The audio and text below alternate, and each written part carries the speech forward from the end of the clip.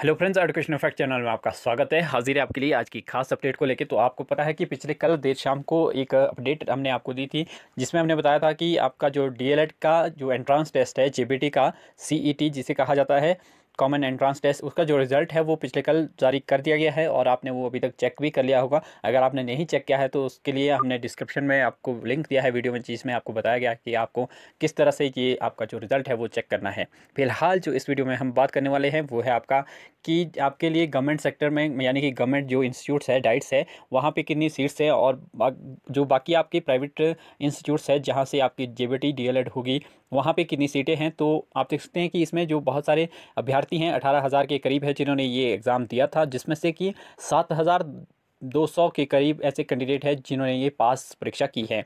लेकिन आपकी जानकारी के लिए मैं बता दूँ कि वो जो सात हज़ार कैंडिडेट हैं, वो सभी को इन, इसमें सीट नहीं मिलेगी। गवर्नमेंट क्या कुछ एक को तो इसमें प्राइवेट सीट भी नहीं मिलेगी, क्योंकि टोटल जो सीट्स है, वो है आपकी चौबीस सौ पचास। तो चौबीस सौ पचास ही सात हज़ार में से जो कैंडिडेट है, वो सिलेक्ट होंगे। यानी कि वन थर्ड की मान सकते हम, वन थर्ड है ये। और जो इसमें टू थर्ड है, वो बाहर हो जाएँगे सीधे ही। तो आपकी जानकारी के लिए मैं बता दूँ, यहाँ पर मैंने जो प्रोस्पेक्टस है, वो डाउनलोड करा है। जो कि एच पी बॉस की ओर से ही जारी किया गया है। इसमें आपका ये डी का टू ईयर का जो पूरा शेड्यूल रहने वाला है, क्या कुछ इसमें होगा, वो सभी कुछ बताया गया है। फ़िलहाल यहाँ पे देख सकते हैं सीट्स कितनी है गवर्नमेंट डाइट्स की पहले बात करते हैं तो बारह डिस्ट्रिक्ट में बारह डाइट्स है आपकी। तो यहाँ पे आप देख सकते हैं कि जितनी, इसमें कैपेसिटी की बात करेंगे कि कितनी कितनी, कहाँ के लिए सीट्स हैं। तो सबसे पहले अगर मैं बात करूँ बिलासपुर डिस्ट्रिक्ट की तो वहाँ पे सेवेंटी फाइव ये टोटल आपके लिए सीट्स है गवर्नमेंट गवर्नमेंट डाइट्स में।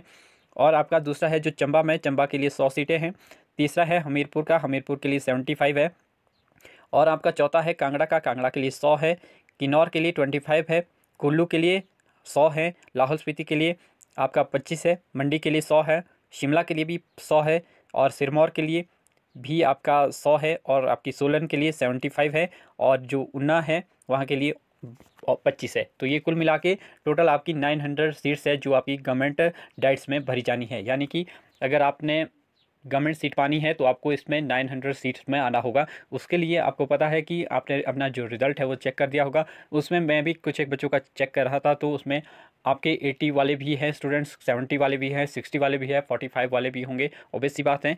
लेकिन इसमें ये नहीं कहा जा सकता है कि अभी कितने बच्चों के कितने ज़्यादा मार्क्स है, क्योंकि मेरिट लिस्ट अभी तैयार नहीं हुई है। और आपका जो रिज़ल्ट है, उसके बेस पे ही अभी आपको ही पता है टोटल स्टूडेंट्स की कोई लिस्ट इस तरह से पीडीएफ नहीं जारी की गई है। तो आप इस वीडियो में कमेंट कर सकते हैं कि आपके कितने कितने मार्क्स है, जिससे हमें भी जनरल आइडिया हो सकता है कि गवर्नमेंट सीट्स के लिए कितनी आपकी कटअप रह सकती है इसके लिए।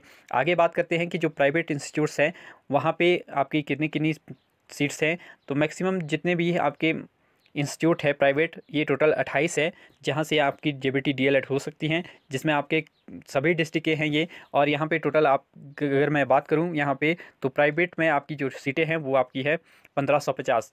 ये प्राइवेट में है, नौ सौ आपकी गवर्नमेंट सेक्टर से है और टोटल आपकी जो हो गई, चौबीस ये टोटल सीटें हैं आपकी जो भरी जानी है।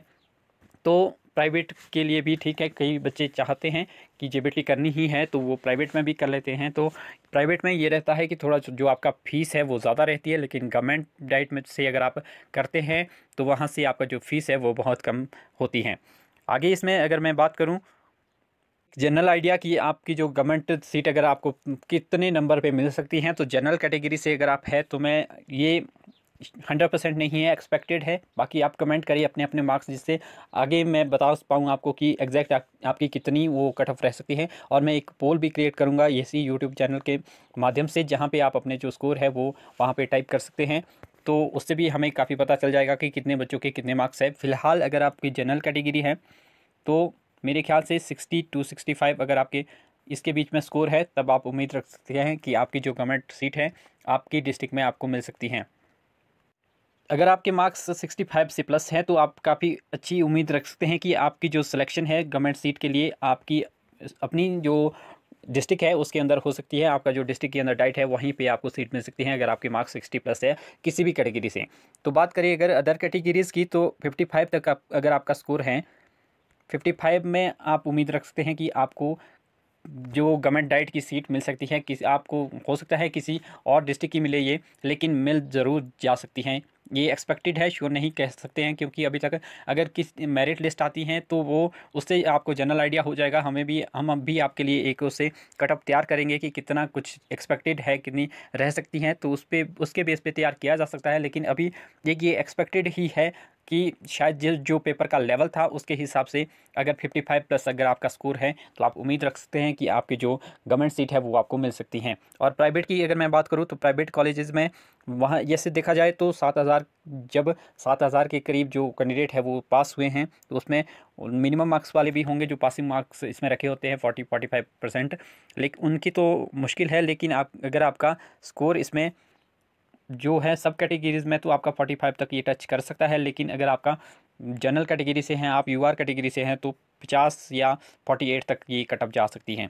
यानी कि फोर्टी एट अगर आपके मार्क्स है फिफ्टी के करीब अगर आपके मार्क्स है तो आप उम्मीद रख सकते हैं कि आपको प्राइवेट सीट तो मिल ही जाएगी। तो इसमें अगर मैं बात करूँ फ़ीस की तो आप ये मान के चलिए कि जो आपकी प्राइवेट में फ़ीस रहने वाली है, वो लगभग आपकी वन ईयर की चालीस हज़ार के करीब आपकी रहने वाली है।